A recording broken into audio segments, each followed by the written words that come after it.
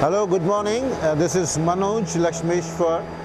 Hi, from FIE, Fuel Instruments and Engineers Private Limited, and SPM Tools.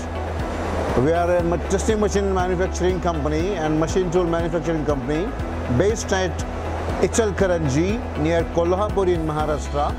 I welcome you all on behalf of our companies to this IMTEX 2017. Um, we are mainly into, uh, we are the pioneers of manufacturing testing machines, that is the tensile testing machines, impact testing machines, hardness testing machines since 1953 and we are the market leaders in India.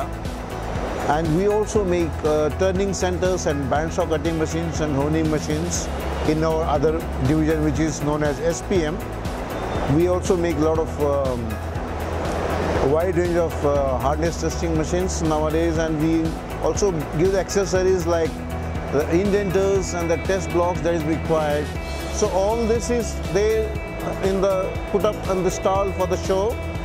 We have come out with latest new technology machines, fully automatic robotic machines and uh, different types of range of uh, testing and hardness and universal testing machines catering to the different uh, market segments keeping in mind you know that what is required in the market and uh, we are coming with the state of the art technology so that our machines are as good as uh, western machines produced in uh, USA and uh, Europe and but much less compared to the price.